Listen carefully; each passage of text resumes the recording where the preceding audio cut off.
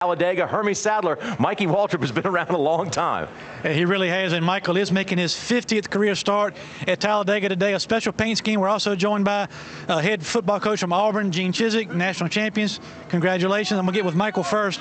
50 starts, and you're carrying a lot of people with the state of Alabama around with you today. Uh, uh, what's your outlook for today? A lot of different things about this racing here at Talladega this weekend. It's the most intense thing as a driver you've ever done. These two car packs, uh, if you're pushing, you can't see where you're going. If you're getting pushed, you're going to see what you're going to hit if the guy behind you doesn't let you have a break. And uh, we saw a perfect example of what happens when you get pushed into a place you don't need to go on the last lap yesterday. Mike Wallace flipped over because he didn't have anywhere to go. And so that's what we're dealing with. Record number of lead changes, record number of cautions. It's all going to be here today. And I'm going to have my War Eagle car all up in the middle of it. Well, Coach Chizik, first of all, congratulations on a national championship uh, for Auburn. And uh, Michael Waltrip has, uh, has won a lot of big trophies, and you got the big trophy in football.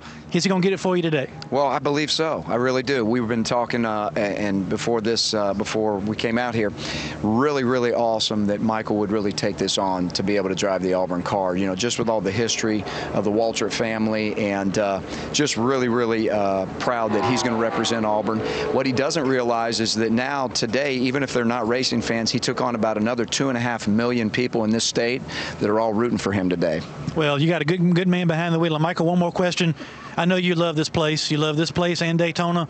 Uh, what would another win at this point in your career mean to you, regardless of what's on the car? I know you want to get to victory lane. Yeah, that, that truck race in Daytona may be the one of the most special victories I've ever had because I just didn't know if I had another one in me or not. So to, to win one more cup race, I think I might just sort of walk on back to Kentucky and hang around over there for a while and just be done. If I could just win this one, Hermie, it would be that big to me. Well, I know these guys are expecting to win. They've been winning all year, and Auburn expects you to get this car to victory lane.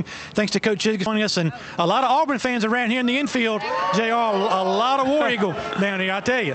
And Hermie, there would be a lot of very happy Michael Waltrip fans if he could pull out a win, and there's no reason why he couldn't because if you are in this race today, uh, you can definitely win it. It is time now for us to head